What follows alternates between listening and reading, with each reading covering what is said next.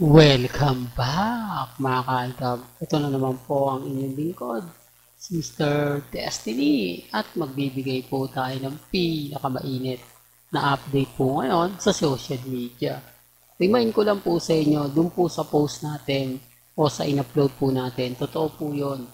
Mara ayaw lang po nilang tanggapin na kumbaga yung mga sinasabi pinapaliwanag ko, eh talaga naman pong pambasag po sa kanila.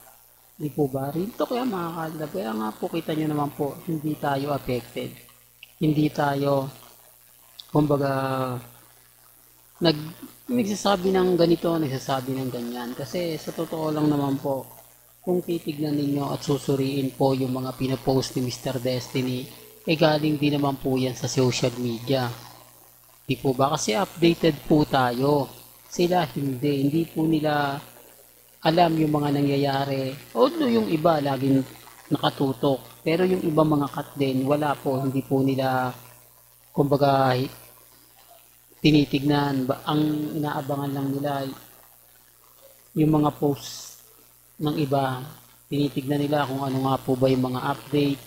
Ang, doon lang po sila. Pero yung magre-research, titingin, magsa mag, kumbaga maghahanap sa internet sa social media, hindi po nila yung ginagawa. Kaya sinasabi nilang fake news ako kasi hindi naman po talaga sila updated.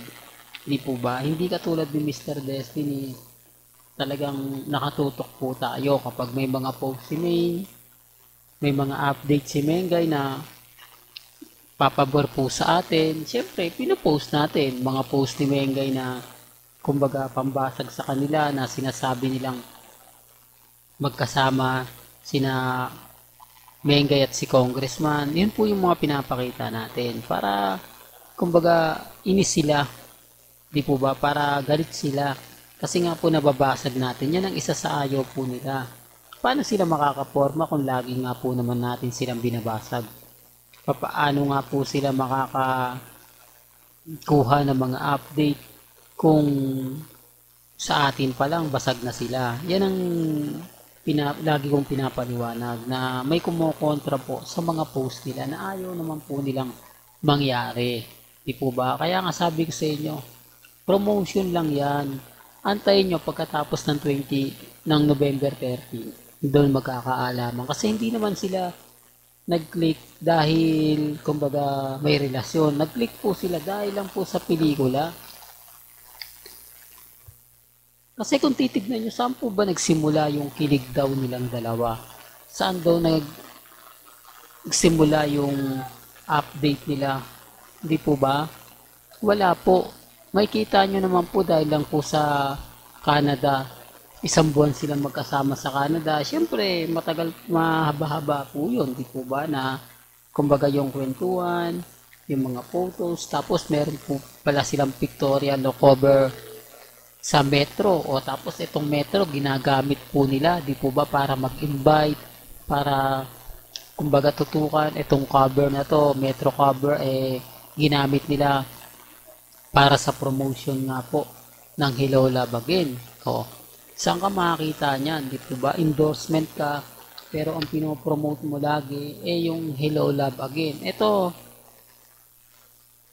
kahit saan po sila magpunta yan lagi nilang pinopromote. Kahit saan po sila kumbaga o magkaroon ng press con yan po talaga. Halatang halata po di po ba? Na hindi po talaga ng pag-uusapan. At bakit walang ito lang po ah.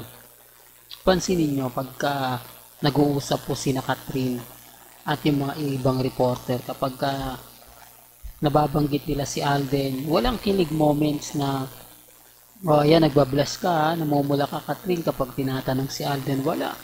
Parang normal lang po. Ganon din naman po si Alden. Hindi po ba? Na may, nabib, may nakukuha siyang paliwanag, may nakukuha siyang update, talagang mapapaisip ka naman. Po ba? Sinasabi ko lang po ito para lang klaro.